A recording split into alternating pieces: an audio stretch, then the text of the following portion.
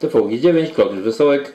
Dzisiaj, jak każdy przyzwoity Polak, jestem górnikiem. Chociaż e, mieszkam, żyję w tej chwili w świecie zupełnie oddalonym od świata węgla i stali, to jednak w pełni się solidaryzuję z tymi ludźmi.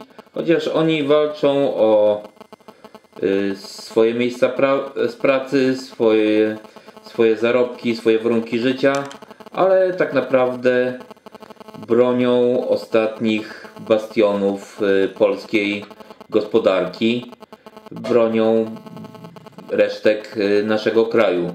Także trzeba być z nimi y, solidarnymi i bardzo denerwują mnie różne ataki rozmaitych karłów zazdrosnych, zawistnych, którzy no, atakują ich no, z tego powodu, że no, niby zbyt dużo zarabiają i tak dalej.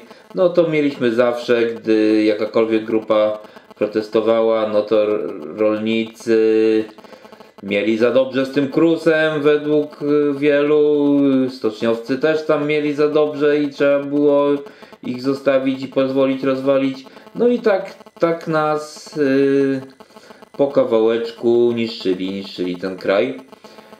A więc dzisiaj nie pozwólmy, nie pozwólmy zrobić tego z górnikami.